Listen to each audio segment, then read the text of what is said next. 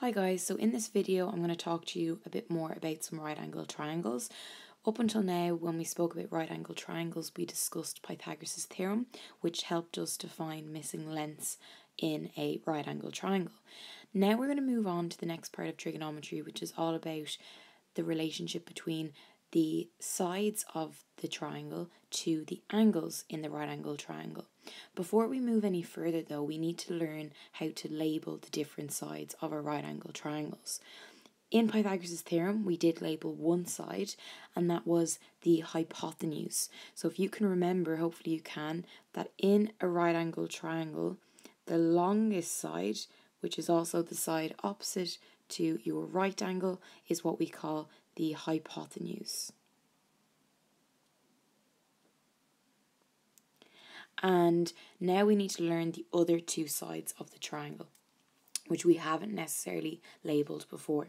So when we're dealing with trigonometry from now on, if we are not just talking about the sides, we're also talking about the angles. Generally, we're going to either be given one of the other angles that's not the right angle, or it might be just labelled with a letter.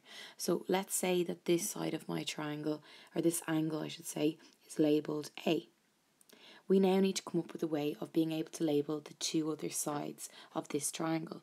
So we know that the longest side is always going to be called the hypotenuse because that's opposite the right angle.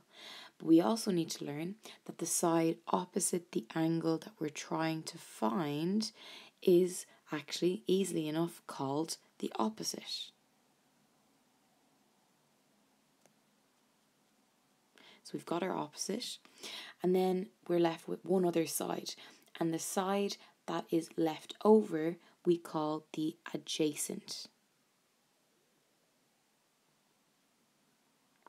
So now we have the three sides of our triangle right angle triangle, I should say, we have the longest side, which is opposite the right angle, which we call the hypotenuse, or you could shorten that down to just H.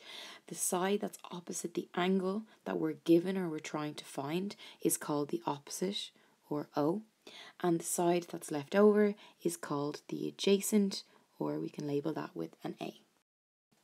Okay, so if you feel confident and this is just a quick revision video, you should probably pause it now and then have a look and make sure that you're able to label all the right angle triangles correctly. If you're still trying to get to grips with it, you can just watch this as more of an example. So in our first triangle up here on the top left, we want to label it. So let's remember our three steps. Number one is we start with the hypotenuse, which is, which is opposite the right angle. So we know that this must be the hypotenuse, so I'm just going to label that with a H.